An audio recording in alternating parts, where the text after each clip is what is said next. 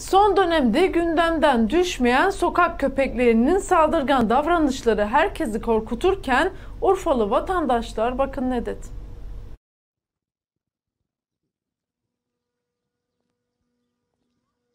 Sokaklarda başıboş dolaşan hayvanlar saldırgan davranışları ile vatandaşları korkutuyor.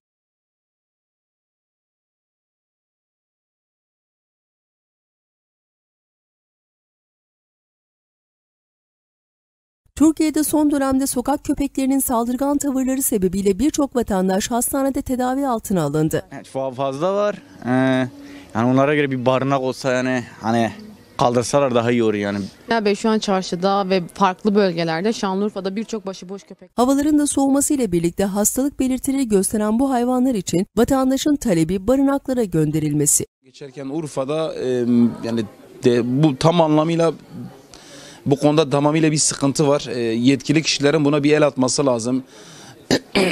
yani e, arabayla Bazılarının saldırgan davranışları olduğunu belirten vatandaşlar bu hayvanların barınaklara gitmesini istediklerini belirtirken bazı vatandaşlar ise rahatsız olmadıklarını dile getirdi.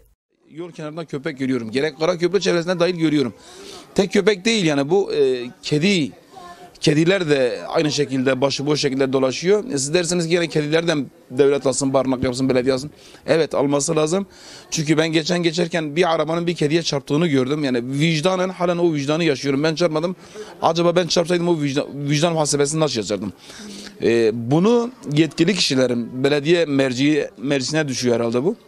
En azından bunlar da el alt, e, bu e, bo- başıboş köpek, kedi ve benzeri hayvanları alıp bir yere koysa onlar da bu veba- vebalden kurtulur diye düşünüyorum.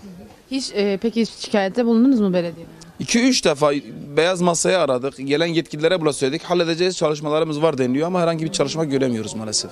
Peki siz e, kötü bir olay yaşadınız mı bir köpekle?